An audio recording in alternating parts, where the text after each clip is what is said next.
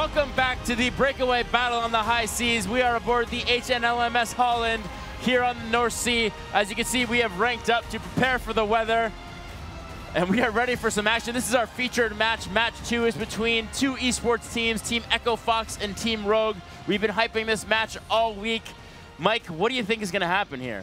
I think it's going to be an all-out slugfest. They've been going at it all week. I, am seeing some strong play coming from them. They're adapting to the meta. I can't wait till this match starts.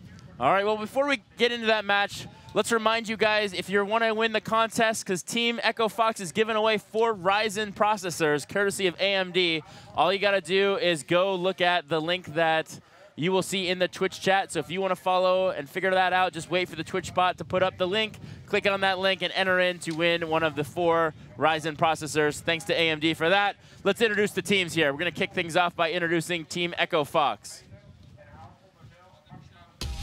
There we see Team Echo Fox. We have four members of this team. This is the H1Z1 team. We're going to kick things off by talking about Justin Summy, also known as Mini. Justin's one of the most aggressive solo H1Z1 players and currently ranks fifth on the H1Z1 Expert Skill Leaderboard. He loves H1Z1 as an advancing competitive gameplay since the beginning by leading his 2015 H1Z1 Showdown team to victory and by creating the H1Z1 solo tournament scene, the championship, the Champions Arena. Next up, we have Flame, Brian Barnaby, he is one of the most exciting players in all of H1Z1. He is known for his hyper-aggressive playstyle as well, and he's one of the best mistake punishers in all of H1Z1. He is tied for lead with nine Champions Arena wins and finished fourth place at the H1Z1 Showdown while finishing with the second most kills. Brian has also had his name atop the leaderboard for long-term kills in every single leaderboard H1Z1 has ever released. Prior to playing H1Z1, he was a competitive Street Fighter 4 player. Maybe he went up against uh, Filthy Rich. That's quite possible. All right, let's go down the line. And now we have Howie, also known as Dennis Olsen. He hails from Sweden and is one of the top streamers of H1Z1. He was discovered by Echo Fox after climbing the Twin Galaxies leaderboard and gaining a top 10 placing.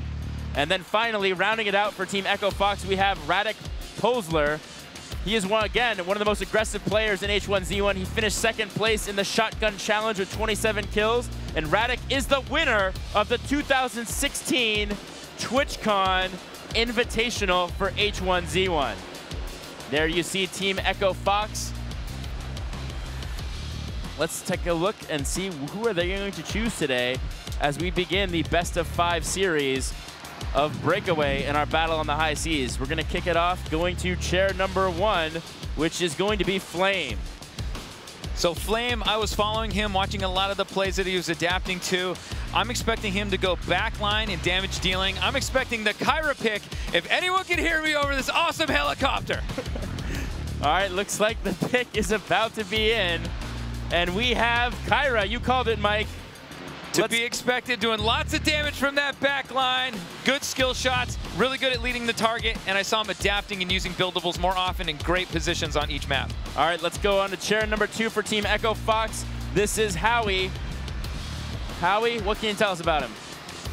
Howie, I saw him adapt to the game. Uh, running tanks, running Black Knight. He liked, to, he liked to do a lot of disruption, cause a lot of fumbles. He was laying down his spike traps, uh, lots of passing. Yes, and the pick is in, and he is going with Black Knight. There you go. You called it using that spike trap. We're going to see a lot of that as he faces off against Team Rogue. And now we'll go to chair number three. This is Radek. Radek, I saw him playing a lot of support. I'm expecting to see Alona. You know, almost a very similar uh, composition to what we saw with the earlier teams that played today. So dual tanks with support and with a damage dealer.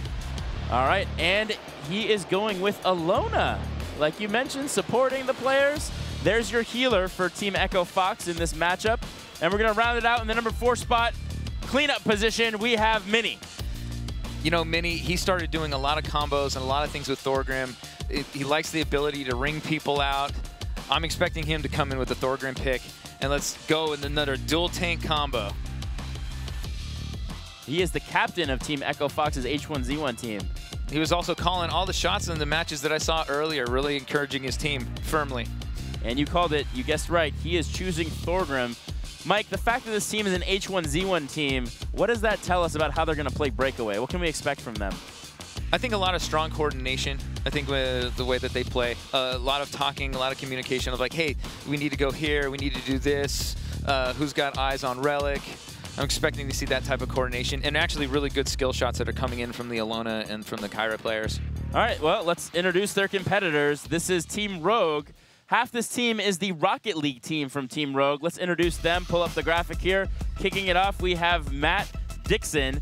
He's a former diehard Team Fortress 2 player, and both him and Sizz have been playing 2v2 power duo since the release of Rocket League in 2015. He leads, he leads North America with an average score per game of Rocket League of 289.8 in the Rocket League Championship League play. Now we also have Sizz, that's his partner, Emiliano Benny. His background is in competitive FPSs, playing games such as Call of Duty and Counter-Strike. He goes to SDSU, former San, uh, fellow San Diegan uh, collegiate. Both Mike and I went to UC San Diego, so we got to give it up for our uh, our, Our neighbors friends, there. man. Yep. He's Go an avid karaoke singer and also likes long watch on the beach. Uh, he led North American players with 11 savior accolades, including at least three saves in 28% of all his games during the Rocket League Championship League play. We also have Stormin, Ludwig Storm. He's a Twitch streamer, and he is part of the Rogue H1Z1 team. They heard Echo Fox was putting in a lot of H1Z1 players. They decided to put in their own, and rounding out Team uh, Rogue right now in the breakaway battle on the high seas is Carson Canute. Uh, Carson Knuth is the co-owner of Team Rogue. Another member, uh, owner of Team Rogue, is none other than Stephen Aoki. So quite a powerhouse team here for Team Rogue. Again, half the team is Rocket League players. You also have a co-owner of the team, and you have a member of their H1Z1 team.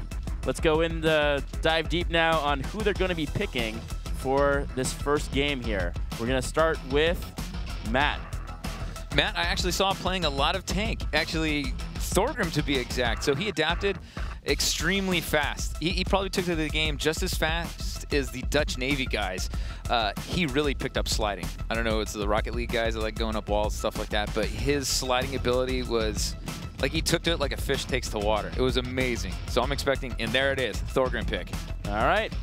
In the number two chair is his partner. Wonder if we'll see a lot of team action between the two. Give it up for Emiliano. He is also known as Sizz. So Sizz, he's all these guys. I predict running another tank. He's going to run BK, so we're going to see Black Knight, and they're kind of a dynamic duo. They like feeding off of each other, putting a lot of pressure, advancing the ball, and and the pick is in, and it is Black Knight. What I saw between the two of them, and maybe it's because they play together, uh, passing and tons of passing. They adapted extremely quickly, more so than any other team or members, to the passing game. All right. In the number three chair for Team Rogue, we have Stormin. He is, again, that H1Z1 player. Will he pick a shooter character, perhaps? coincidentally, you know, I thought he was going to go with a Kyra pick, but then when I've seen seen him play and like work his way from the back lines, he was playing support, and so I saw a lot of Alona, and I'd be shocked if he changes. Yep, he's going with Alona. He's going to start healing his tanks, making sure they maintain those sustained pushes. And there you go, the last time I do a character prediction. As we round out Team Rogue with the co-owner, CJK. Now, I have actually saw him play a lot of different characters, so I'm, I'm really curious what he's going to go in with. Like, maybe he will go backline damage. Maybe we'll, we'll see the Kyra pick. He could go crazy and we could see an Argus pick. Not quite sure. This is the one that I am questioning because he has been adapting to the game. You got to pick one. Who's it going to be? Come on. Oh, Oh, way to stall it. Tulare. Way to stall it. I think it's going to be Kyra. Solid pick. They got a great damage deal. They got heals. Actually, very similar to the competitors. All right, well, there you have it. Again, this is our esports throwdown right now. Two professional teams, Team Echo Fox, Team Rogue. These guys are going to battle it out in a best of five game series here on Breakaway in our Battle of the High Seas. Mike, if you had to make a bold prediction, which team you think takes it? Oh my God, that is a bold prediction. Uh, I might have to give it up to the passing game of Rogue. Yeah, you know what? I'm actually, just to be different from you, I'm going to go with Echo Fox. I think Echo Fox had an issue a little bit early on. took them a little bit to get used to breakaway. But once they got it, man, this team has been steamrolling. I think we're going to see them in the finals play the Royal Dutch Navy. I think what's going to make the difference is actually map control.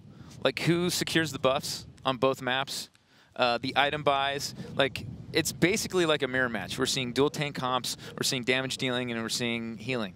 So it's who's going to make those small changes that give them the strategic edge. All right. Do you think there's any like strategy around the fact that they picked the same comps? Like, did they do some strategy ahead of time? Do you think, or is that just like, if you're a player at home and you're playing Breakaway in our alpha, you went on playbreakaway.com/alpha, and you wanted to figure out what is the best team comp? Is it in fact, you know, picking dual tanks or picking, you know, a healer and a range character? Like, what, what would you, how would you advise someone who's coming into Breakaway new, who wants to, you know, have the most balanced comp? I would say it is actually that. Go for the most balanced comp and then have uh, a team composition that you are very comfortable in running. All right, well, here we are on Atala Prime. We have kicked things off. We are in the middle of game one now with three minutes and 48 seconds left to go. What do we see with those item buys that you saw briefly, Mike? Almost identical. We're seeing the tanks. All the tanks are building armor, and that's that shield that you see. Actually, both healers are also building cooldown reduction so they can use their abilities more often. That's the Hourglass. And then both of our damage dealers, both of our Kyras started off with uh, Demolition so they can take out buildables and buffs as quickly as oh, possible. Oh, look at that quick score there happening from the red team. Nice. Blue from team. team Rogue, rather. Rogue. The blue team coming up there. You saw action happening as we go to the replay there. You can see it on the monitor as they're watching Team Rogue watching themselves score. They got it in really early on. We were still doing our intro conversation. We should know better when you have these two professional esports teams. You got to keep your eye on the ball, and Rogue likes to push and move fast. All right, we are starting game uh, round two now of game one on this breakaway battle on the high seas. There you see Mini. He's getting a little amped up, ready for that pre-fight. Looks like Flame also added armor piercing. That's what that spear tip is. He wants to start really digging into those tanks that have heavy armor. There are three ways to win in breakaway if you're just watching right now. The first way is you take that relic, the ball, and you bring it into your opponent's base, as we just saw Team Rogue do moments ago. Now we see Mini with control of the relic. He is playing as Thorgrim, our main tank warrior, one of two that you see here today in the breakaway battle in the high season. There he is, scoring it! Oh, Mini was not to be denied. He goes, you're going to score on me fast? I'm going to take it back down your throats and score on you. Yeah, you called it. You said this was going to be a slugfest. We have seen two really quick scores as the gameplay gets heated up with these two professional esports teams. Yeah, fantastic work. You know, one thing to note is the losing team gets bonus gold going into the next round. So it's a, both teams have lost one, so they're both starting to see a gold gain because these are really fast matches right now still. Yeah, and we're seeing Howie, he's, he's changing his mind multiple times. He's got the armor, he's got the movement speed, and now he's got attack damage.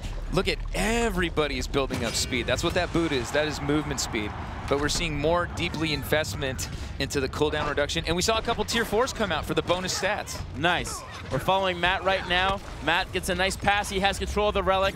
Remember, there are three ways to win. We talked about one. The second way to win is you annihilate the other team. So they have health bars underneath each of their portraits. As those health bars go to zero, they will get have to respawn. If you wipe out the entire team and put them all on respawn at once, that's the second way to win. We'll talk about the third way if we even get there with three minutes and 30 seconds left to go. Now we see Sizz with control of the relic, throws it up forward there, gets picked up by Matt. Matt does get stopped by the tank. Howie doing a nice job on a second attempt. Here comes Matt. You got to worry about that ballista though. Every warrior and breakaway has a, a buildable they can place down. The Black Knight has those spike traps that you see there, and Kyra has the Ballista there at the top, playing a nice turret, taking down Matt and preventing him from scoring. And they're at a health disadvantage and still trying to bring, bring the pressure. Look at Sizz, he's getting belted. Yeah, he is not living up for it. He's like, you know what, I'm just going to keep going in there. I'll let my healer do their job as we see all four members of Team Echo Fox now with control of the Relic. Good pass handoff there from Mini to Radek. Radek now with control of the Relic. He is playing as Alona, the Healing Warrior. He's up there waiting to get position for his teammates. Will he pass the Relic? No, he's going to hold it and get a fistful of uh, Thorgrim Hammer there as Matt picks up the Relic, activates his shield wall, his defensive ability, but he does have to cough up the Relic, and the Relic goes back in the hands of Echo Fox. Look at the buildables starting to stack. Look at the walls they're being placed. Now, buildables will persist through the entirety of the match, so if you don't destroy one, you get to, if your buildable doesn't get destroyed, you get to build another one the next round. Here we see Matt with control of the Relic. He's going to try to go, nice job using the slide to gain that extra momentum. Good back toss there from Matt, but it's not going to be enough. Echo Fox comes back with the Relic, but there it goes. Goes to Stormin now on Team Rogue. He has control of the Relic, does get hit. It only takes one hit to fumble the Relic. We see Stormin getting in his own rebound now. Stormin doesn't pass up to Sizz. Sizz with control of the Relic, throws it upfield as much as possible. And now we're caught up in the glare there as we see Rogue fighting it off. And there goes Echo Fox doing a beautiful job taking the Relic And as we see Stormin now with control of the Relic, remember, we talked about the three ways to win here in Breakaway. The primary way is you take that ball, that's the Relic, you bring it into your opponent's base to score. Here we see CJK, he's the co-owner of Rogue. He does get hit, forcing that fumble, and now Mini has control of the Relic, taking it back there, going up the second story. He's like, I don't want to go up the second story, that's the other direction. He's now got the Relic back in there, picking it up as Howie. Howie with control of the Relic, fighting off Sizz. Sizz able to steal the Relic from him, and now the Relic's getting picked up by Matt and now it gets picked up by Radek. Lots of change of possessions here, Mike. That's right, Sil, and I think it's because Rogue is able to keep up so much pressure. Did you see they split buffs? So the gold advantage is actually going to Echo Fox. But the armor, the armor buff went to Rogue, so they are they're just continuing to push with all that extra damage reduction. Yeah, we're not seeing too many team fights happen right now. It seems a lot of just change of possessions there. You see Mini going in the mix there. Howie has it. There's 56 seconds left to go. You see the blue line at the center of the map. That is the center line. You need to cross that line in order to keep the relic in scoring position for your team as time expires. We're down to 46 seconds left to go. The ball right now is in the Rogue territory, so they will win this one if they're able to keep the relic on this side of the line with 39 seconds left to go. You see Radek now with control of the relic. It does get intercepted, and Stormin coming up hard with the relic. Fast move there from Alona, the healing character. He's going up to the other side. He may even score it. Matt has the relic, tries to toss it, does get hit though. As he's about to throw it, the relic goes, and here comes Radek on a run. Radek needs to cross that blue line. Saving throw there from Stormin, doing a beautiful job. Passes it back, gets intercepted by Mini. Mini has control of the relic, and 14 seconds left to go now. We are across the blue line now in scoring position for Team Echo Fox. Can they keep it in there with eight seconds left to go? You have Matt now with the relic. He's unable to get it. Quick throw there. Look at that. Rogue oh in the oh last second. Goodness. Rogue gets the CJK, and there it is. Rogue coming up with it. He sacrificed himself to throw the relic back over to the stage into his teammates' hands. What a play, Sil. I don't think we have ever seen that in Breakaway to jump off the side and toss it at the last second just to buy enough teams. What an amazing play. And look at all these epic buys there happening on Team Rogue. A lot of Team Force here you know, I, am still in shock on that awesome play by Stormin. Just what a heads-up play. But yeah, we see Tier 4 armor come in. Uh, it's incredible. They're going to be super tanky. It's going to be really hard to kill those guys. And look at Flame. Flame has Tier 4 Demolition and Tier 4 Armor Pen. So they're fighting around the armor buff. It looks like somebody on Echo Fox went down. Looks like Mini, he went down, so he's going to be back up in another five seconds. You see Stormin with control of the Relic. He does have to force that fumble now as Radin has control of it. Radek with the Relic does lose it, and now the Relic goes in the hands of Stormin. Stormin going up the right side. Can they catch up to him? Yes, they can. Stormin forced to cough up that relic, and now it goes in the hands of Mini. Mini gets the relic, goes out of bounds, but don't worry, as the relic goes out of bounds, it will respawn back to the location where it was previously. Relic has the, Radin has the relic, gives it up there to Mini. Mini with the relic, has to lose it. You see a nice rib splitter there from Thorgrim. Every warrior in Breakaway has abilities they're able to use that are on cooldown. Now we see action happening as we get closer and closer to the red team base. The red team is Echo Fox, and the blue team is Rogue. Sizz was trying to go on a breakaway. When he fumbled, he immediately hit his ult to, to stop every Buddy from doing anything, but it looks like the push out by Mini, advancing into Radek, and now, look, they're going high road still. Yeah, Mini taking the high road there with his partner there. Tries to pass to the partner. The partner's like, I don't want it.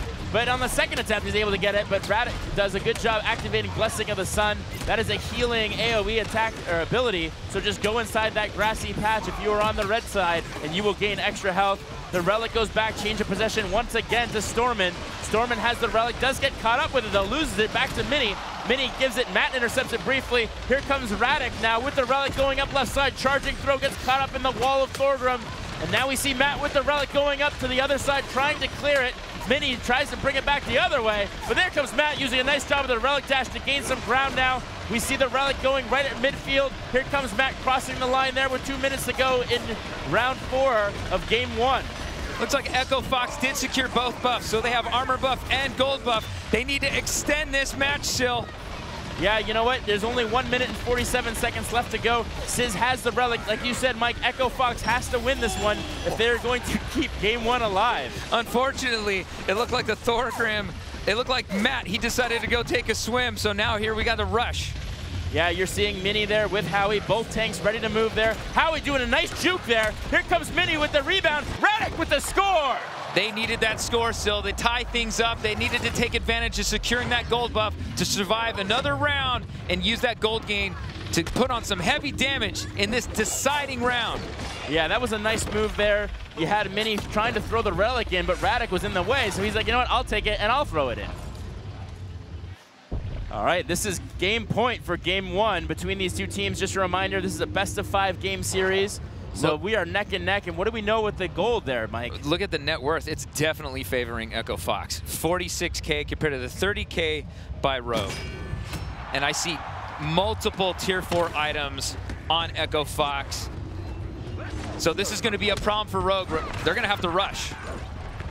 Absolutely, and you notice that Echo Fox had a lot of uh, a lot of the a lot of the warriors there on the side of Echo Fox. The players had tier four boots, so they're going to be moving a lot faster than than Team uh, Rogue as well. They're going to be able to collapse faster. They're going to be able to move the relic faster.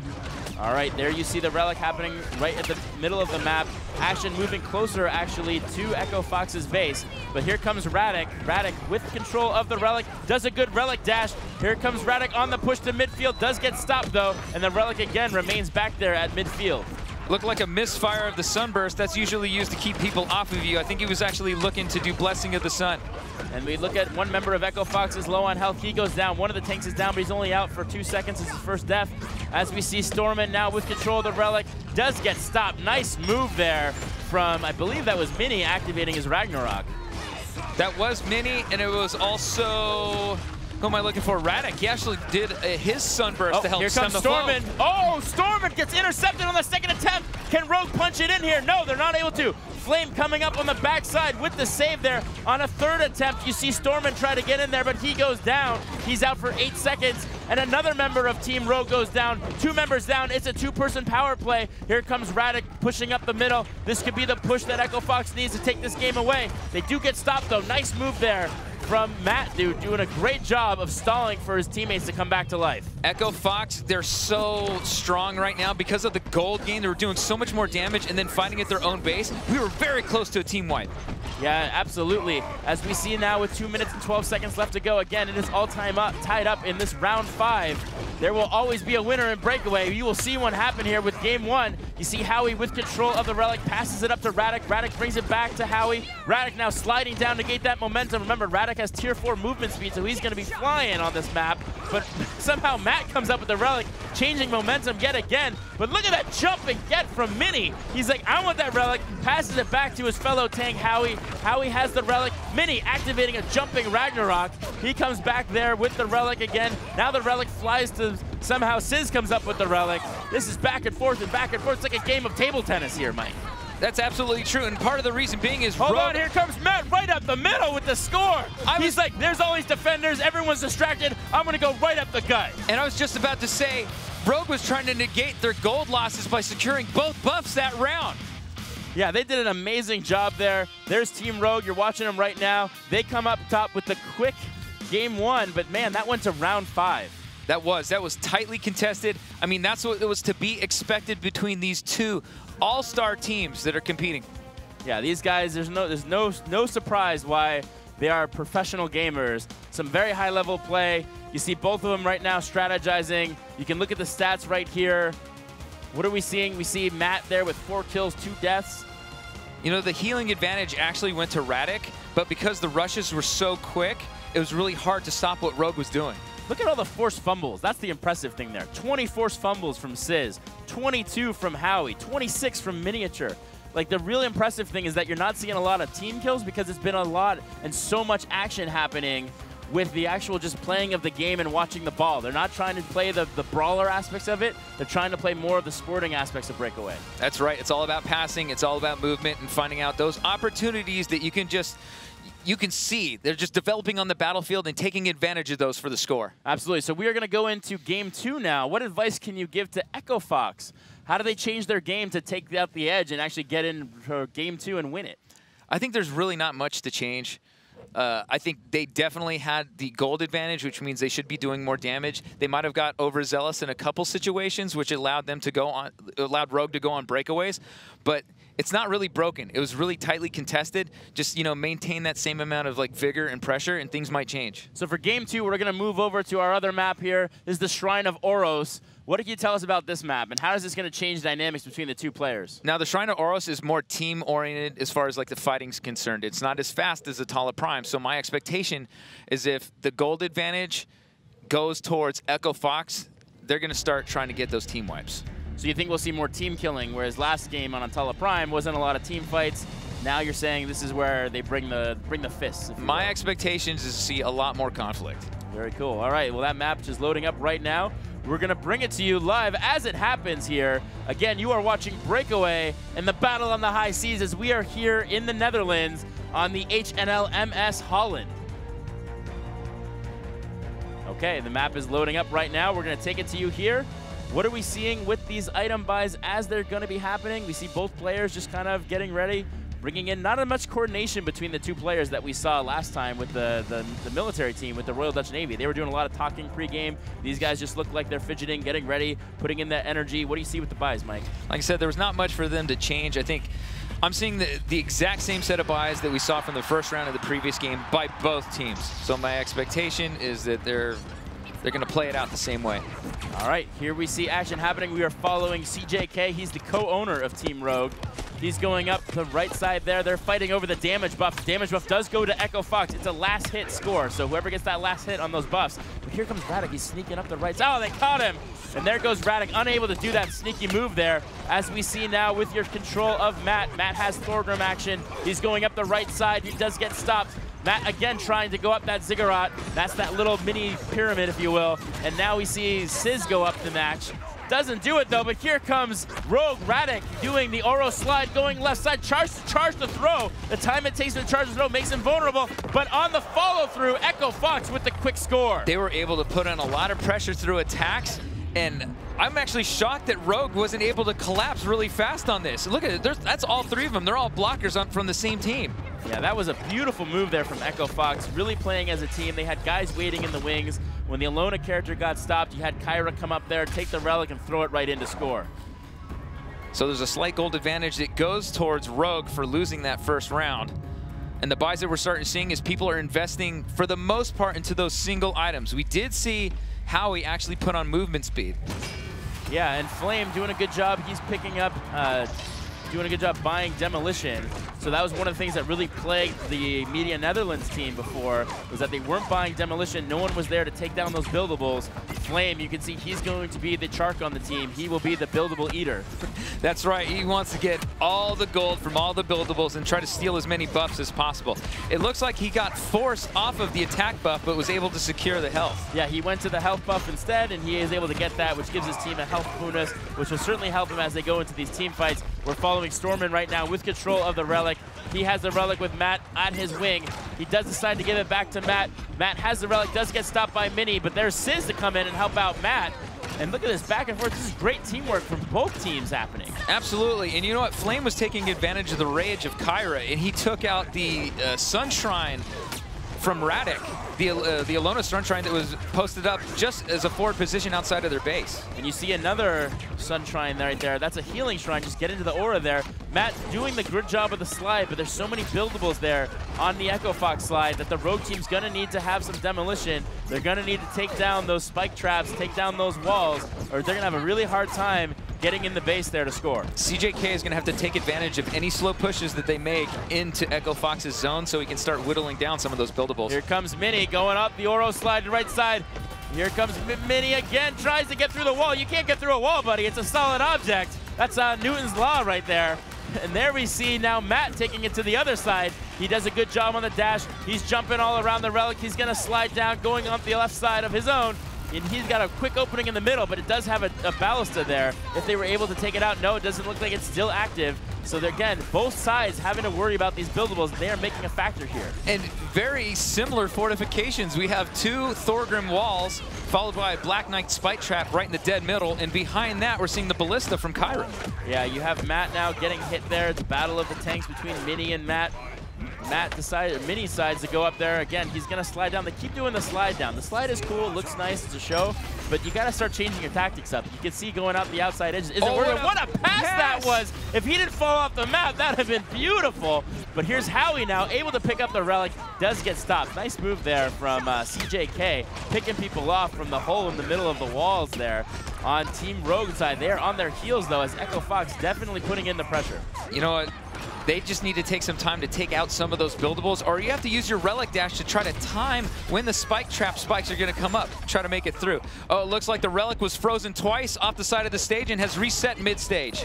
We see Mini now with control, going left side there. Nope, decides to pass it up there to Radek. Radek gives it to Howie. Howie gives it up there to Mini. Mini back to uh, Flame. Flame with control of the Relic. He's caught up in the ultimate ability of the Black Knight. Sizz doing a good job there to stop that. A lot of passing, though, we're seeing from Team Echo Fox. Yep. Oh, and some unfortunate deaths with the relics respawning for the last known occasion. And remember, every time you die in breakaway in a round, your respawn timer increases, which is why you're seeing such long respawn times from both the Black Knight and Alona. We're down to 40 seconds left to go. They may not need the Rogue territory on the power win. play. Can they get it in there? It looks like they're going to get stopped because you have all four members there. They got to keep putting in the muscle. They have to also worry about that ballista, though, which is going to stop them. And look at that nice move from uh, Radek there. We're down to 23 seconds left to go. The center line is in effect, so this will be a score for Rogue unless Echo Fox can take that relic out of there, or Matt on another attempt to try to get it in. Doesn't able to do so. Here comes Sizz with his attempt. He can't do it, but Echo Fox has to worry about the time now. Flame doing a costly error there, throwing it into the wall of Thorgrim. That's going to be damaging. Can Flame get it across the middle line with two seconds? Gives it to Radek. No, he can't cross it enough. And that is a point for Team Rogue. That was so close. He used his dash. He got within throw range, but he couldn't pull the trigger to send it over the line. And look at him. He's like, man, why did I try to run? I shouldn't have dashed. I should have just thrown it. What a costly error there as we now move down into round three. So it's a game of peace. We're seeing tier four items, tier four demolition, tier four armor for both the tanks on the rogue side. Everything is starting to even up. And look at the buildable placement. These are some fortified locations. And look at the denial right there. They don't want anybody sliding down that path. They're doing a great job there. We're following Howie right now. He does stop uh, Stormin there from getting the relic closer past midfield. Again, battle happening for the buffs. The green buff now taken by Echo Fox. Again, it's a split buff where Team Rogue now is able to take the damage buff. That's, That's right. the second time that Rogue has taken the damage buff. And so they split those that, that time, just like you said. And so that health buff, that's going to give your team plus 20% health. And that damage buff, plus 15% attack damage for your entire team. All right, now we're following. Here comes Matt trying to get in there. They have to worry about those buildables. Those buildables are definitely costing and slowing things down. But somehow, Team Rogue keeps finding a way to muscle themselves in the action there. We keep going in there somehow. Radek comes up with the relic, does a good job clearing. Radek definitely the fastest player on Team Echo Fox. And some great passing, the great split. Look how far they've come from their own base, but now Matt with the interception, trying to slow everything down. Yeah, that was a clutch interception there from Team Rogue, doing a beautiful job there. You're seeing some ultimates getting fired off there from Thorgrim, played by, uh, I believe that is Matt there on Team Rogue. As we see Matt in the distance there, he has control. The relic does get stopped. Remember, it only takes one hit to force that fumble. And we see the Alona player, Echo Fox, goes down. That is Radek. He is out for nine more seconds while he looks in his pocket for another quarter. We are down to two minutes and 22 seconds left to go in round three, game two of this battle on the high seas. Howie trying to advance the relic with Mini. Mini gets shot in the back, but they're still trying to apply pressure, and Matt just trying to go out the back door. All right, Matt with control of the relic does get hit while he's in the air. Has to use his Ragnarok, but you see the benefit of the Ragnarok right there. And there it is, Echo Fox firing off the Ragnarok. And we now have Radek. He's going to slide down there for that extra speed going up right side. Gives a nice pass to Flame. Flame up the middle. Does get stopped. You have two ballistas they didn't see because they were hidden behind the walls. Can Echo Fox capitalize and keep pushing it in? Doesn't look like that's going to happen right now. Matt with control of the Relic, but they're doing a good job to stop him. Rogue fighting viciously to get that Relic out of there. And look at Matt is able to do it. You know, that's the one thing about putting up those fortifications like the walls. It's actually blocking you from pushing the relic out of your own base. Yeah, it's that double-edged sword, man. It helps you, but it also hurts you. As we see Stormin now going up the left side there. You have the ballistas on the other side now for Echo Fox now doing great job of defense. The relic keeps getting thrown out of bounds because it keeps falling out of their hands because the minute you touch it, they're getting hit.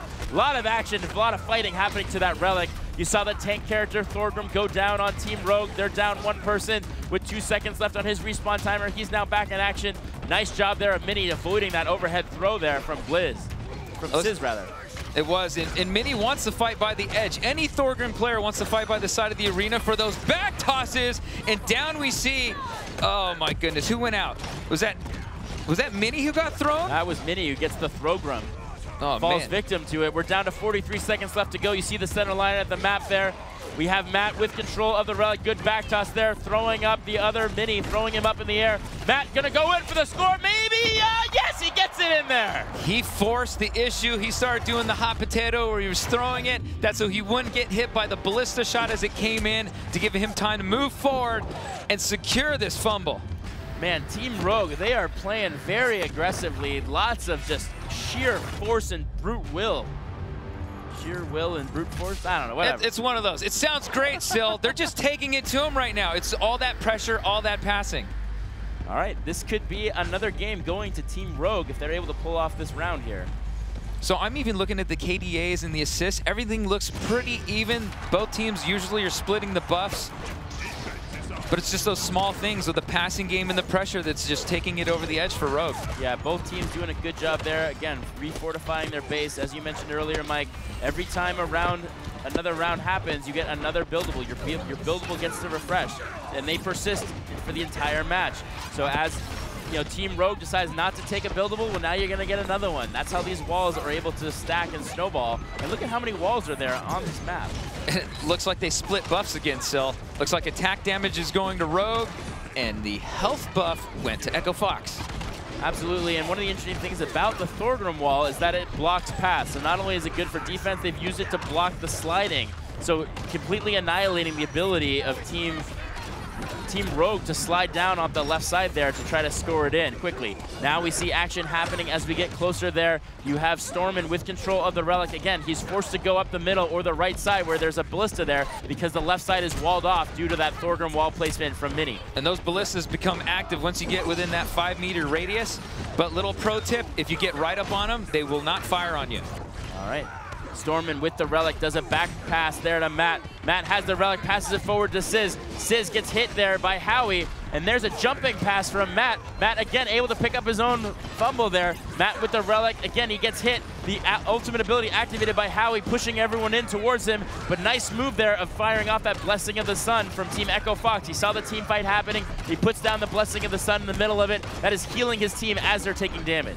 It looks like Flame is going backline to destroy buildables and take out the squishy targets. He built him- himself up pretty big right now, and two members of Team Rogue are out. Looks like one of them just came back, but nowhere near the fight. Yeah, but the healer, the fact that the healer is already on like a 15 second uh, cooldown for respawn, that's going to hurt them as time progresses here in this round with two minutes left to go.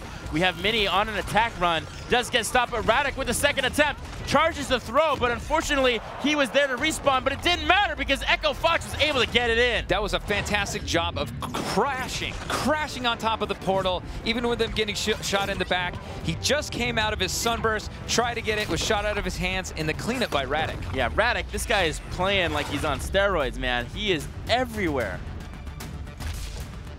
We are now at a game point here.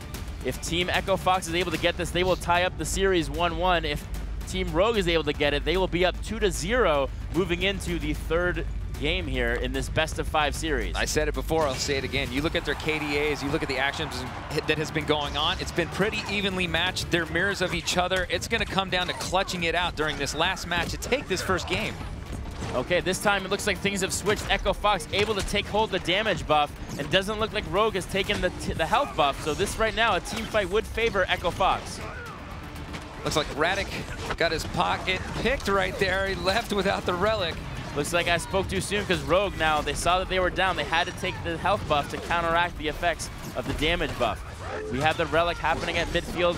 Action happening from both teams as they're just getting into the melee mix now. Radek tries to sneak out but does get stopped. You have the pull ability there of the Black Knight from Sizz, bringing Relic in closer. Matt ended able to take the Relic, brought it up to the top of the Ziggurat on the left side. Did get stopped though. That fumble forced the Relic and now Mini with the Relic. He's going up the right side, passes it over to Radek. Here comes Mini again, jumps it up. It's very close. And there it is. Oh! Mini brings it all the way in. And the popping pop-off. off nonetheless. That was impressive. Oh my goodness. He was just forcing the action, throwing it up. Great passing between him and Radek. That's the shot calling that you expect from your leader.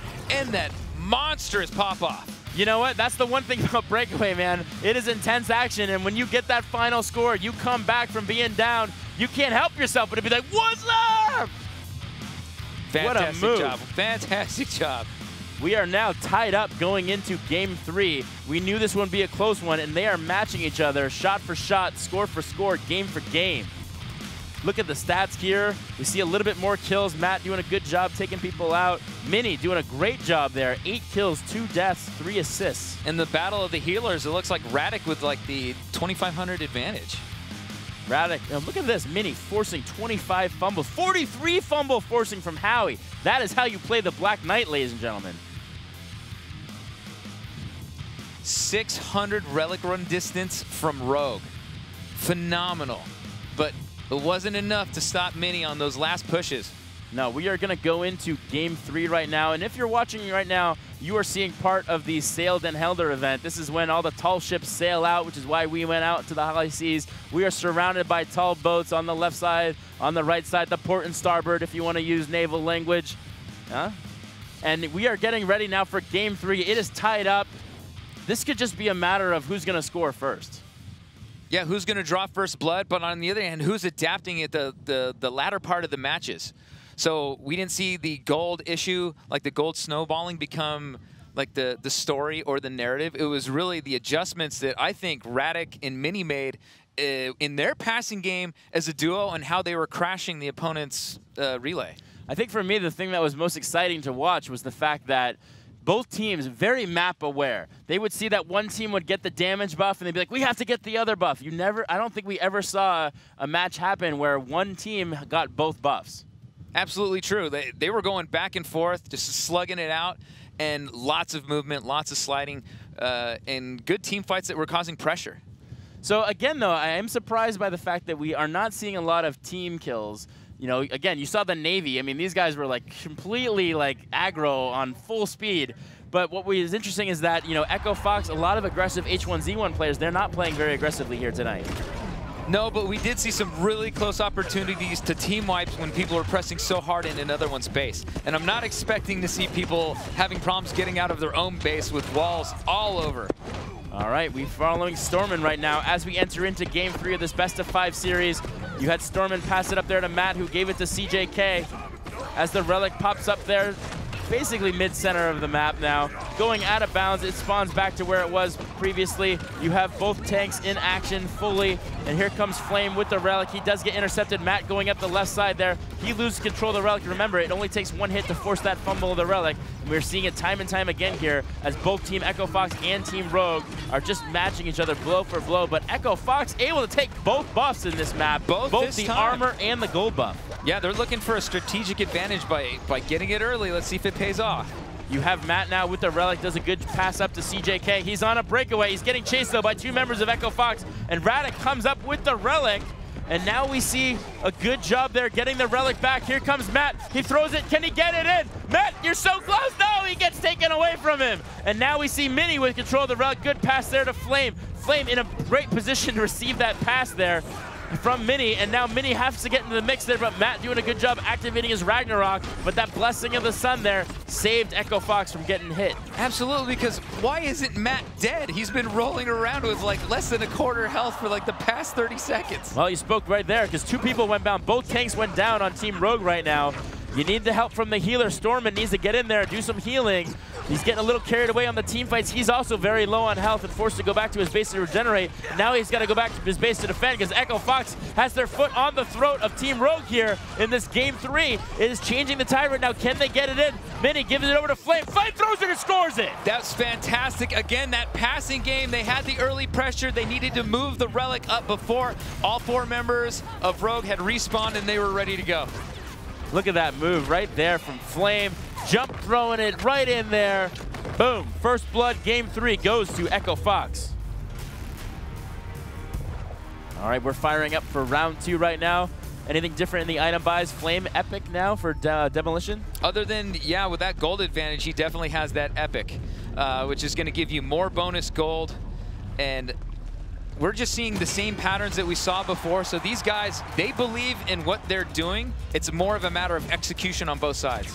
All right, here comes CJK. We're watching him take the gold buff. Remember, it needs to be a last hit. So it doesn't matter how much damage you do, as long as you are the person to blow it up and do that final hit, that will go to your team. And it looks like Rogue able to pick it off, so good job there from CJK. Here comes Matt with the Relic. He takes it, tries to change direction on it, does get stopped. Stormin somehow comes up with the Relic. He brings it back to the right side, where Radek's there to meet him, takes it, gives it over to Mini. Mini with control of the Relic does get taken. Matt has it, nice pass up there to Sizz, but Sizz falls off the map. Looks like they're down. Uh, they're down a sniper over on Echo Fox. It looks like Cairo went down. Flame was trying to secure that buff, and he failed, and it looks like it went to Rogue. Yeah, nice. Unfortunately, that was a good uh, shorthand position there. Echo Fox had two members down on Rogue, but because Flame went down. They had to wait and wait out the clock, and it was able to enough time for Rogue to respawn in there, and they have full team strength right now. But it looks like Radek, the team healer, is pretty low on health. He's going to have to either use some of his self-healing, go back to a healing shrine, or go back to his base not having either buff, it's going to be really hard for Echo Fox because looks like Rogue is putting on the pressure. Yeah, Rogue, they heard my speech about the buffs, and they're like, you know what, we're going to be greedy and take them both and it's paying off right now. Echo Fox, I believe, had both buffs last round. This round goes to Team Rogue. And I want to see, I see CJK, he's actually downfield destroying buildables, trying to carve a path out for his team. All right, the Relic is back to midfield now. We see Sizz and Matt getting in the throw of it. Both tanks right in there. That's the healing shrine of Team Echo Fox. If you are on the rogue side, you want to make sure you take that out. Sizz does a good job taking it out now as the Relic falls right to where that healing shrine was. And it forces uh, Radek to use a Blessing of the Sun, wasting his ultimate ability to replace that healing shrine that went down. Looks like Howie was trying to go on a breakaway with his teammates, but Matt taking the Relic and trying to advance it upfield again. And here we see Mini charging the throw to gain as much distance as possible. Therefore, the Relic gets picked up, though, by Stormin, who does slide down to gain some extra speed. He's got Matt in the forward position. Will he pass it off to Matt? No, he passes it to Sizz instead. Sizz has the Relic, does get caught up in it, though. The ultimate gets activated by all players now, right in the middle of the action there. ultimates are flying off the handles from everybody. You got Thorgrim firing up Ragnarok. You got Blessing of the Suns from uh, Alona. Everyone's using their ultimate abilities, and the Relic's just not moving. Here's another pro tip, kids. If you're committed to an animation, whether you have your defensive ability up or you're doing your ult, you cannot pick up or intercept the Relic. We have Stormin left side now. He's poor time on the elevator, though. Unfortunately, it was up when he was right at it. And at the top of the elevator is Howie, though. He made it. But look at that wall they placed right at the top of the elevator. So even if you make it to the second floor, you can't go anywhere. Yeah, you got to get past Howie, and then you got to get past that wall. All right. And it looks like Flame goes down again. He's out for 10 seconds, and we're down to 57 seconds left to go. The blue center line is in effect. You need to cross that line as Team Rogue just did, so now it is in scoring position for Team Rogue. If they can stall out the clock here, good pack toss there from Matt. Whoa, look at that. Matt finds a way through, but he gets greeted by a ballista. Matt just chilling up here on the top, which is fine because you just got time on your side right now. But here comes Flame with control of the Relic, and if he times that charge throw enough, he should be able to throw it across midfield, but he's going in the wrong direction right now. He's got 30 seconds left to go. Looks like he's going to wait for his team to regroup on him so they can try to get the Relic over before time expires with 22 seconds left to go. You have Stormin now with Team Rogue. Stormin has the relic, does a good job of passing it over there. Stormin picks up his throw, tries to throw it in, gives it over to the Thorgrim player who does a beautiful job of walking it right in there. And that was Matt. So fantastic series of passes. You saw Kyras earlier, the CJK was committed to an animation, but it winds up back in Matt's hands for the score. Nice job with the passing ability. I will say I am very impressed with the way both teams are able to pass the relic. You saw that go into effect. One of the things that's interesting about when it goes down to become close to be a territory win, when time is less than a minute, teams start to panic, and you got to worry about not only the territory win, but also team wiping and scoring as well. And we're starting to see more attack damage being built on different characters. Actually, Black Knight on Howie or I'm sorry, attack damage is being built on Howie's Black Knight, as well as movement speed and armor. He wants to be more proactive in all these conflicts. But it'll be interesting, Mike. I'm curious to get your take because because he's buying three different items, he has not been able to get a heroic weapon, whereas everybody else on the whole game right now has a purple epic item. You know what? I'm actually not a big fan of trying to equip that much that quickly. It really depends on who's secured what. Like if the gold buffs are in play or your team was able to take down a lot of buildables, We'll see how it pans out, but I'd, I'd, feel more comfortable at this point if I went tier three or tier four, at least on two items before start picking a third. All right, you see Sizz there activating his ultimate ability. That is the Dark Call. As we see Matt with the control of the Relic. He does lose it. Flame has the Relic going left side, throws it to gain some extra ground. He's got to worry about that wall from Thorgrim, though. Does get it picked up by his teammate. Doing a good job there of getting the Relic as Howie gives it off there. But somehow Matt comes up with the Relic, does beautiful job maneuvering the Atala Prime, sliding to gain that momentum, brings it all the way back to midfield. I'm telling you, those Rocket League players in the sliding, they got this down pat. They know how to get out of their base and start advancing that ball. And you see Matt just jumping to gain some quick distance, gain some, you know, extra movement just to avoid those shots. If the shots don't hit you, you keep the relic. So nice job there, just bobbing and weaving. A nice interception from Matt. Matt is all over the map. Matt is just moving, bobbing, and weaving. They, they understand what's going on. They know how to move this ball. Yeah, Sizz right there in the mix as well, getting in there. Both of them fall victims to Ragnarok, but fortunately Matt did ha still had his, so he used it to gain some extra uh, distance from Team Echo Fox. Here we see Echo Fox Flame now has control of the Relic. He tries to get it to midfield, but does get stopped in the action. You had the Rid Splitter getting activated from Matt, pushes away Flame momentarily, and somehow Mini gets control of the Relic, gives it up to Matic. Matic does get stopped by Stormin, who does a beautiful job with the with Stormin's just general attack ability, stopping and just forcing those fumbles. And here comes Flame. Flame, you know what?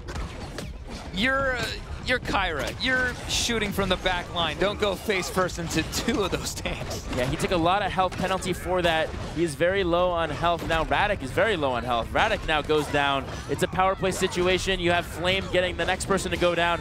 Rogue doing a good job targeting the squishy characters on Team Echo Fox. And now they have a power play situation with 1 minute and 33 seconds left to go. They're unable to capitalize it on this time. And now it looks like Echo Fox actually has someone on fire, Mike. That's right. That means you had three kills in a row without dying, and it is their Thorgrim player, and that's Mini. Mini doing a beautiful job. Nice pass back and forth between Sizz and Matt. Sizz tries to pass one more time to Matt unable to get it in there. Remember, these two play together. They play Rocket League in a 2v2, so they are used to giving the ball to each other, and they have performed amazing ball handling skills here on Breakaway in our battle on the high seas. And I'd have to say it was a blessing in disguise that that Thorgrim wall from Mini actually got destroyed because they were having a tough time pushing it out of their own zone. We're down to 56 seconds left to go. You see the center line in effect. That is the blue line right now, right next to where the relic is. If you were on the red side, you want to get it closer to the blue base. If you were on the blue side, you want to get it closer to the red base. As we see when time goes to zero, wherever that relic is, whichever side of the line, it will be a score for the other team.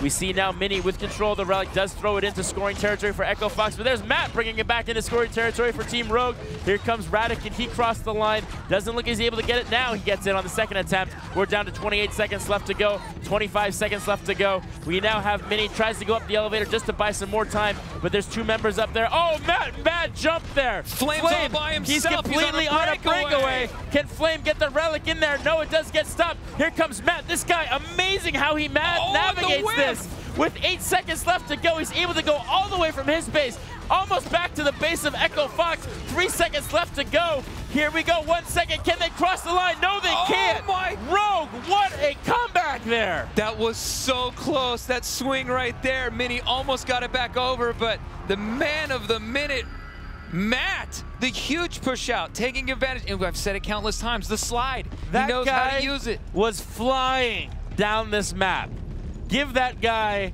some sort of I don't know. He's got wings. He's got speed shoes. He's like the Usain Bolt of breakaway, man. It's crazy. He was flying. He was flying. Remind me of some classic Gucci. Gucci can't move that fast. Oh, no. No, he can't. Not if he was out here freezing on the top of his ship. All right, we have Matt passing forward to Stormin, who gives it up to Sizz. Sizz passes back to Stormin. They're going to try to just get this one in. And here comes uh, Stormin oh, right the in passes. there. Look at that. The look back passes is insane.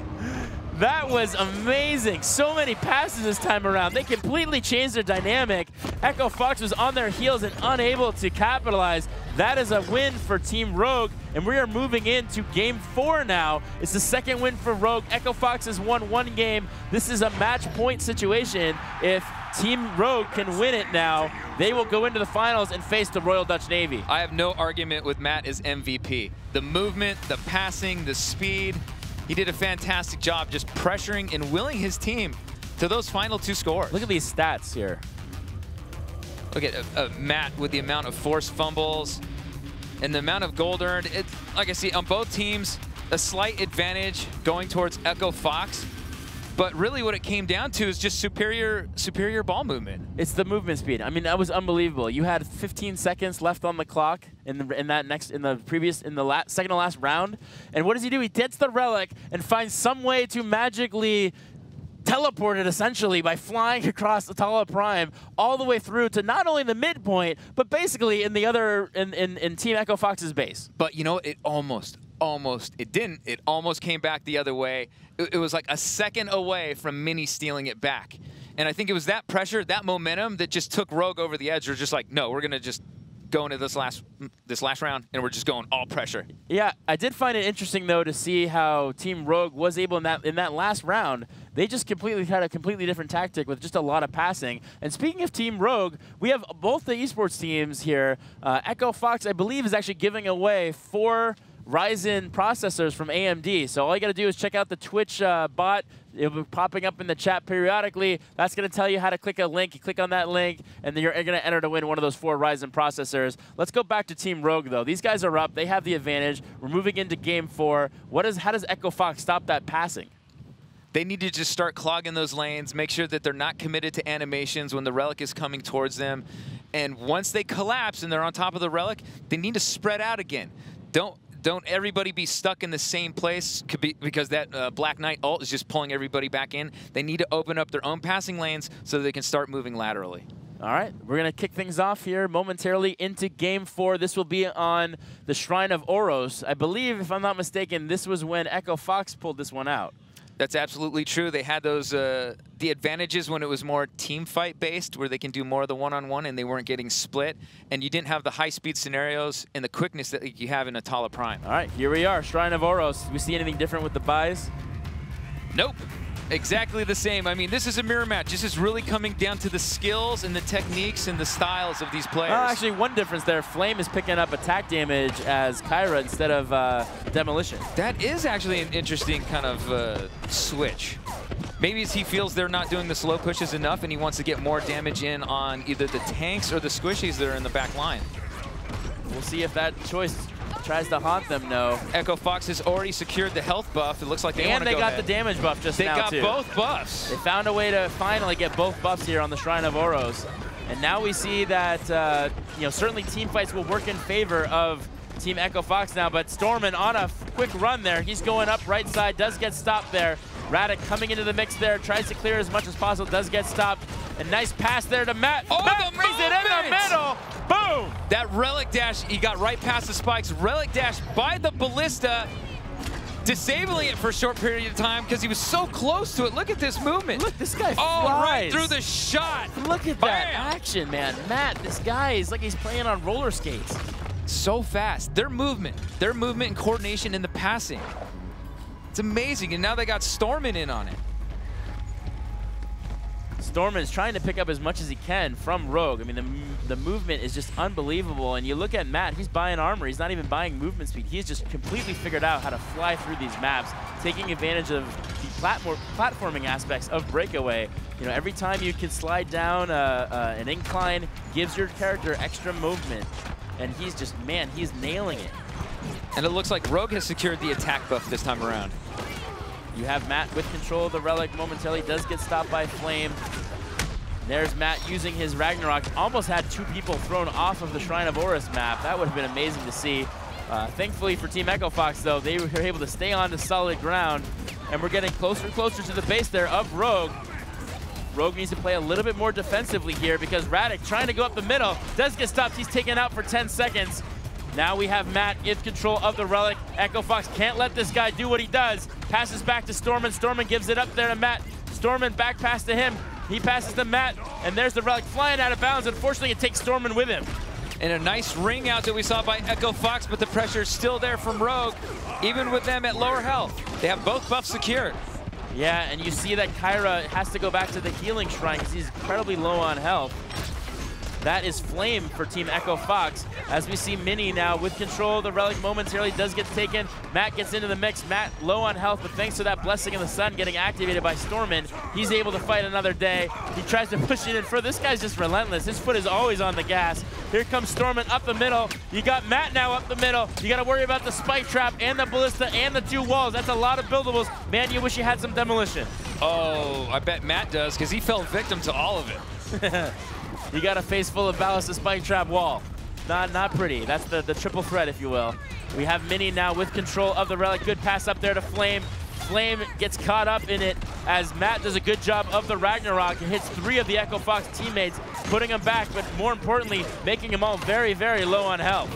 Look at this passing game, one, two. It's like old classic soccer that I'm watching here.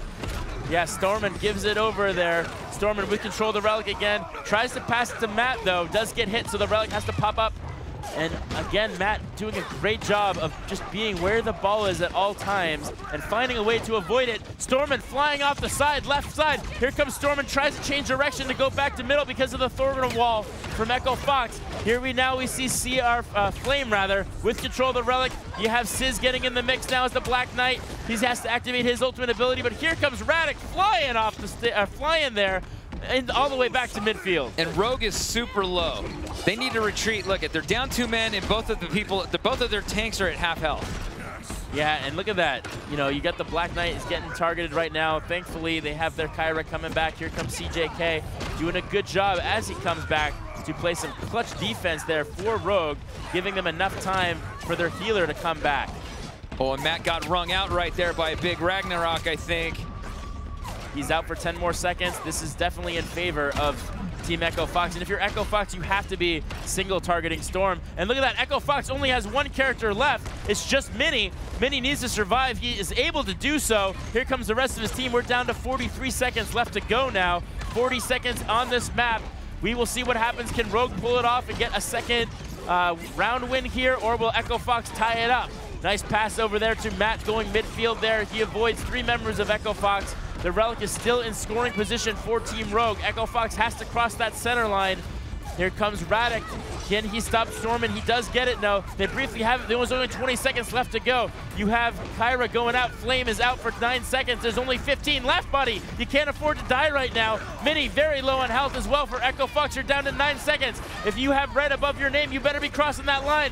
Mini tries to do the best he can, but he's incredibly low on health. Two members down on Echo Fox. One seconds left to go. And there's the score for Rogue. That was a territory win. They had both buffs. They were able to do a ton of damage on them. There was only one remaining team member on Echo Fox to try to stem the bleeding, and he just couldn't get it done. They could not. Look how happy Rogue is right now. They are all smiles right now.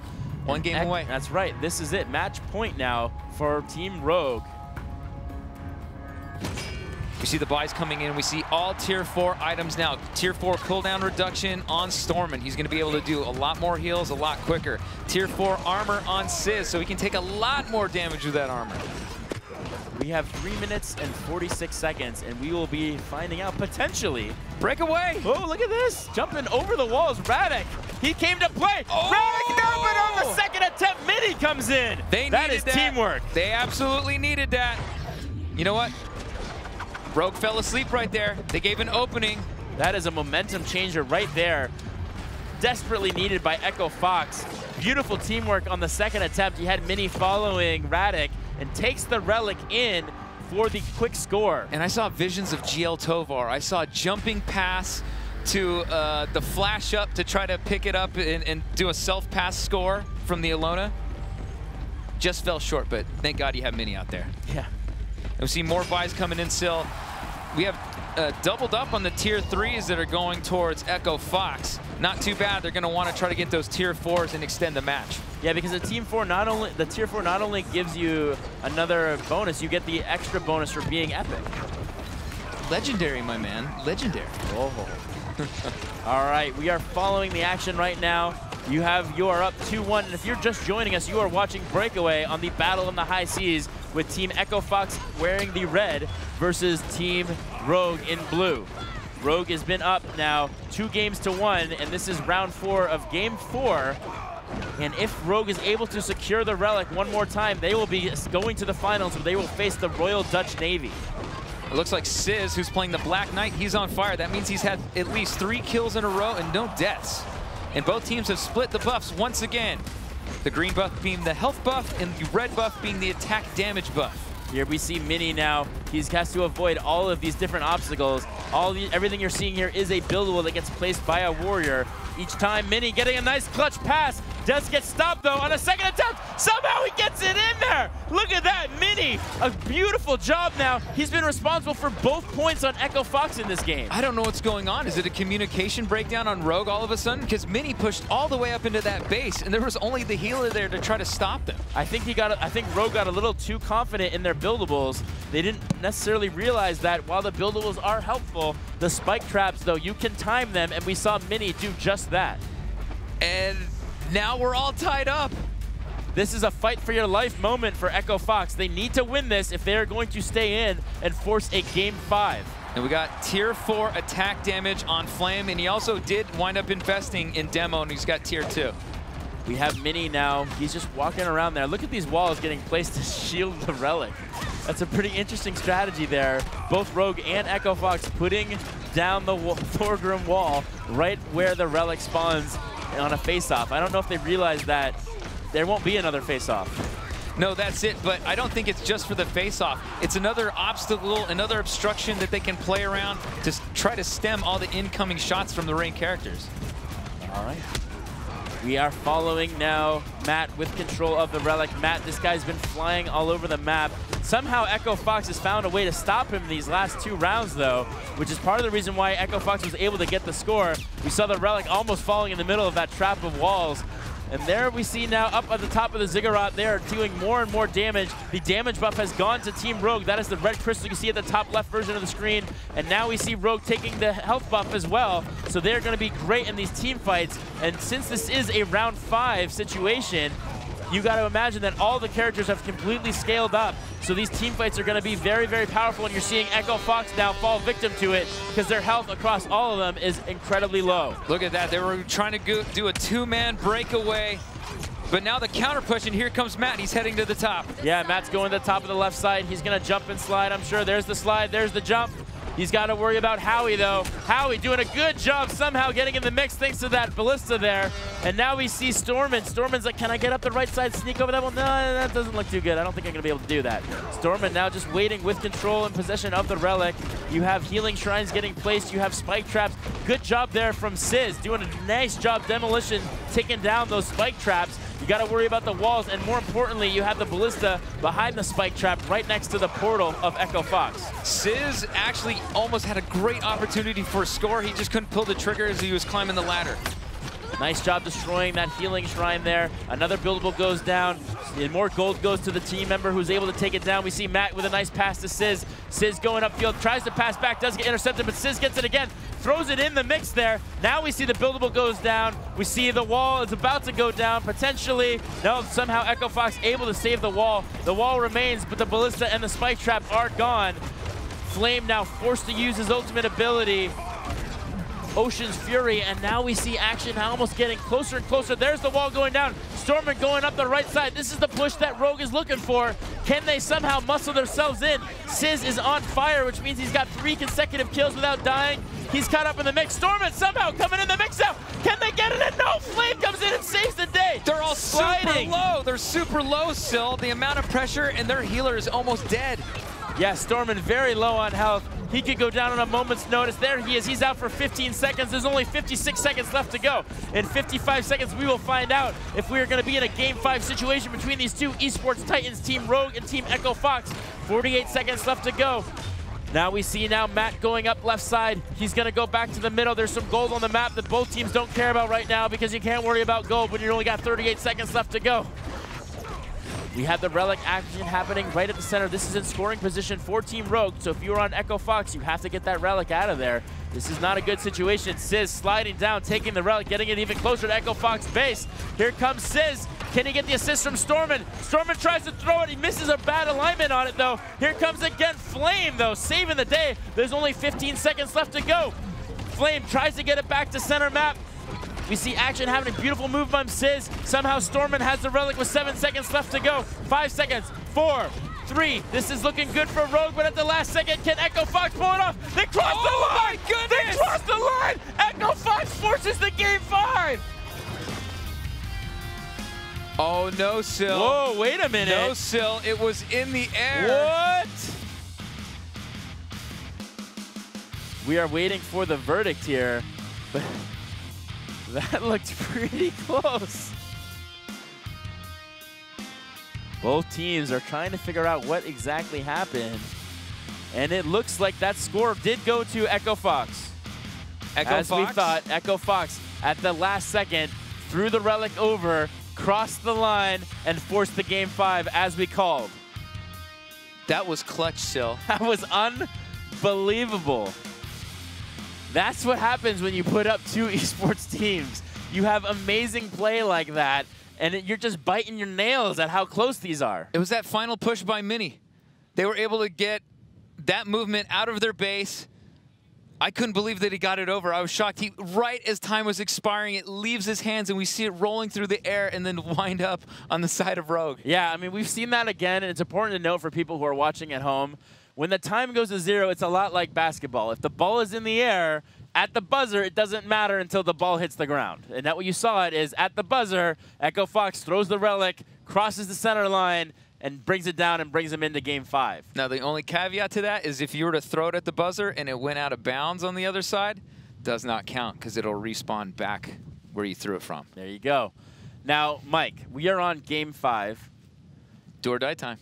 This is Atala Prime, though, and Yes. Rogue has dominated on Atala Prime.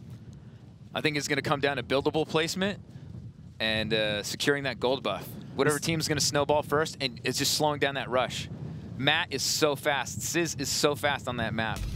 We did see a lot of um, interesting buildable placements, though, with, with that last map. People were putting walls everywhere. That's true. You want to make sure the walls that you build, you're conscious and your team is conscious like, hey, those are ours and we have enough space to actually push the relic out ourselves so we don't get trapped in our own zone. All right, looks like things are loading in right now. This is game five in our best of five series, so we will see a winner here. One of these two teams that you are watching are going to go into the finals and face the Royal Dutch Navy in our third and final match here on the breakaway battle on the high seas.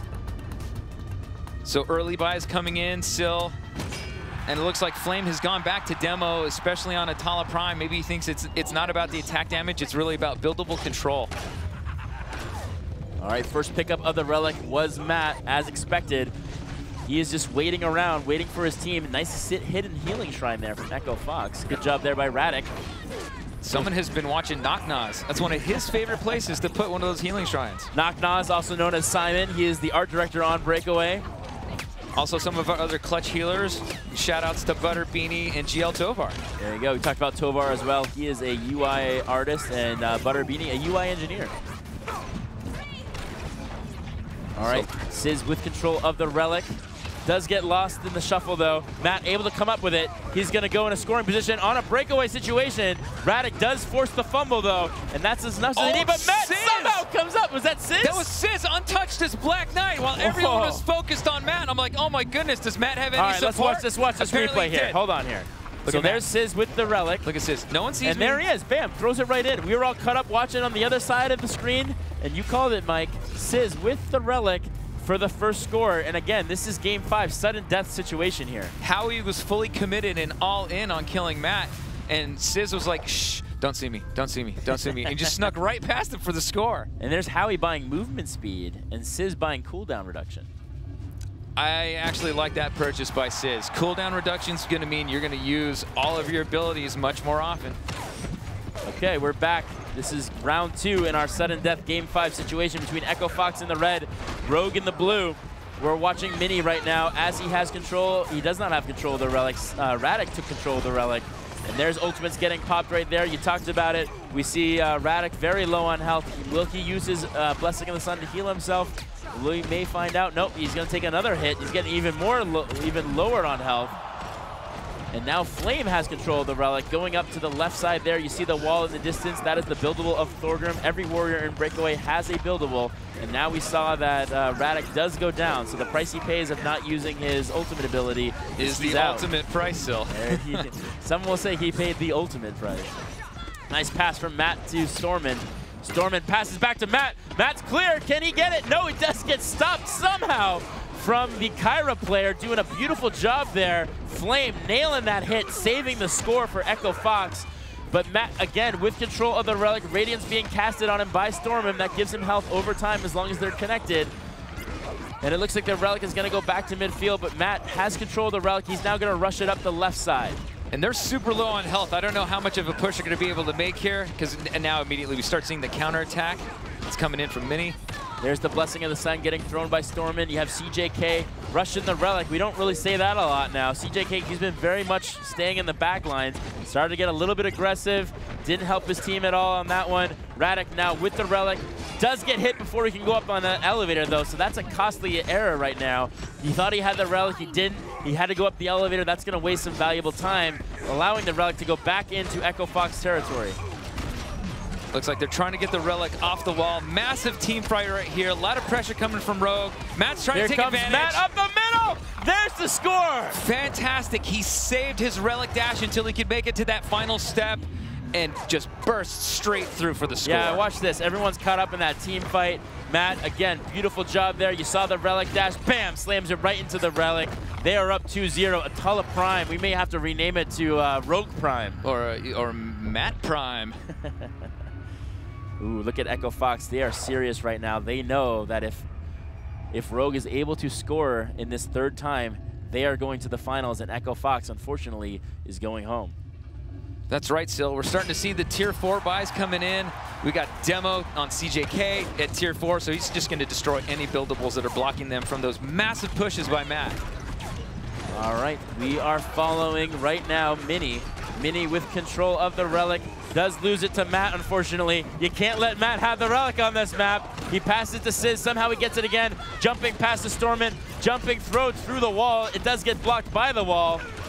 And now we see Matt with the Relic again. Nice pass up to Sizz. Sizz goes to the right side. There's Matt with oh. the pickup. Oh! He can't get it in, though. Flame somehow comes up with the Relic, uses his dash to clear it. And now we see Stormin staying at this. This is all we've seen this rush happen time and again from Rogue. It's the Rogue rush, if you will. But Howie somehow saves the day. Nice move there from Echo Fox. They're to live to fight some more here in Breakaway with a beautiful clear. And somehow that was quite a defensive stance. Oh my goodness, a heart-racing moment. There are three ways to win here at Breakaway if you're just joining us. The first way is you take the Relic, that's the glowing ball you see, and you bring that into your opponent's base to score. The second way is you annihilate everyone on the other side. You see right now, uh, CJK, he's out for four more seconds. If you wipe the entire team, that's the second way. The third way is when time ticks down to zero, wherever the Relic falls, if on the side of it. We may not get there, though, because Rogue making another oh! nice there. There it is, the push into the goal. Nice pass, beautiful job. Rogue, you are going to be facing the Royal Dutch Navy in the finals of the breakaway battle on the high seas. Everybody was so focused on Matt, like it collapsed in that direction, and nobody kept a body on Stormin right now. Fantastic air pass coming in from Matt for that score and sealing the deal, like you said, and they're going to the finals. They are absolutely going to the finals. There you see a show of sportsmanship, shaking hands across the board. MVP went to Sizz right there. He did a great job supporting his team, playing as the Black Knight. We now have two members. We now have the Rocket League team versus the Navy. Who's going to come out on top? I don't know. Bold prediction here. Rogue's looking pretty good, but I have to go for the Navy. They lent me this nice coat. I believe this is actually, I think it's a captain's coat. I'm not entirely sure, but you know what? I'm going to rope for the Navy. I'm dressed in blue. I'm going to get my Navy hat momentarily. I think they're going to do it. Mike, what do you think? I think it's going to be one hell of a finals. I think the Dutch Navy, they brought it, and they brought it with ferocity. But, man, I have not seen that type of passing in a long time. Not since, like, Bones and Tovar and their type of pressure play. And it was impressive to see what Sizz and what Matt and Stormin and CJ were doing collectively, but it was that Matt's pressure. Matt Prime right there. Matt yeah. Prime is your new handle. Matt Prime. Yeah, I'm not going to lie. I think it's going to be tough for the Royal Dutch Navy, but I'm still going to root for them because, you know what, we're on the home team. We are on the HNLMS Holland. This is a ship that one of the members of the Royal Dutch Navy used to be a sailor on, so he's got experience on the boat. Maybe he's going to talk to his old CEO and tell him to like shift the boat a little bit to uh, cause the relic to move. I don't know. Anything's possible here. I wouldn't put it past Boz. This guy, he's a shifty one. I'm looking at you, buddy. Uh, I know uh, anything anything can happen here on the breakaway off uh, breakaway. I almost said breakaway office league. On the breakaway battle on the high battle seas. High seas you just saw the epic esports matchup between Rogue and uh, Team Echo Fox. Team Echo Fox went all the way down to game five, but Rogue somehow pulled it off. And we're now going to throw to the man himself, Sizz. He played the Black Knight. Let's kick it over to Patrick, Mr. Epilogue. What's going on with Sizz? All right, guys, that was amazing. I've never seen a match that intense, down to the wire multiple times. The pace was just incredible. Sizz, how did that feel? It felt really good to win. Uh, like our idea before the game was, you know, well thought out, and uh, we just went in with the our idea, and then we came out on top. What was your idea coming in? Uh, I kind of just told Matt like just go for the ball and go as fast as possible every time, and I'll just like I'll just hold down the tanks and like everyone just CC them as much as possible. And then um, we had CJ just Carson, who's uh, the rogue co-owner. He had he just went and destroyed as much obstacles as he could, which is like really important for us because without that, like the the spikes they had was, was stopping Matt every time. So us being able to get rid of their obstacles is really good for that. And then of course Stormin had really like insane healing the whole way through. So it all just kind of worked out together. It was beautifully played. Early on in the first two, literally the two first two rounds ended in under a minute. Were you expecting yeah. that kind of pace? No, like we came out so fast. It was it was actually like we thought we were just gonna kind of set up obstacles and kind of play for the late game, but we got like some really good breakaways and um, we ended up just like pulling it through. Um, Matt was like playing really well with like his passing and everything. We were having like really good passes around with the whole team. It was really good. And Rogue seemed to rule on a on Atala Prime. Do you think the map made a difference for you guys? Yeah, before the game actually, I said that we're gonna win every Atala Prime. Like if there is, and like I like I told him straight up, like we're gonna win a Atala Prime. We're gonna lose the other map, but we're still gonna win in the end. Like I, word for word, I said. And ball movement was really key for you yeah, guys, definitely. passing back and forth constantly. Is that something you practiced? Yeah, I think a result of that is like me and Matt uh, passed like me and Matt passed a lot, and then of course like Stormin and CJ came in and well, like we incorporated them really nicely. Uh, I think it's like a result of like we just played together for so long, so we kind of know how to pass together, and then like uh, Stormin just fits so well with everything, and, and like CJ was just you know opening up so many paths for us. It was really good. That's fantastic. Good job, you guys. You're into the championships. Congratulations. We're going to see you in the last round. All right, back to you guys. All right, thanks, Patrick. Says good job. We'll see you momentarily in the finals here on the Breakaway Battle on the High Seas. You are watching Breakaway, and we have a game three. Sorry, a match three. The finals, Mike. The finals. We called it earlier. It is going to be the Royal Dutch Navy versus Team Rogue. You will get there momentarily after we take this short break. Again, you are watching Breakaway in the Battle on the High Seas.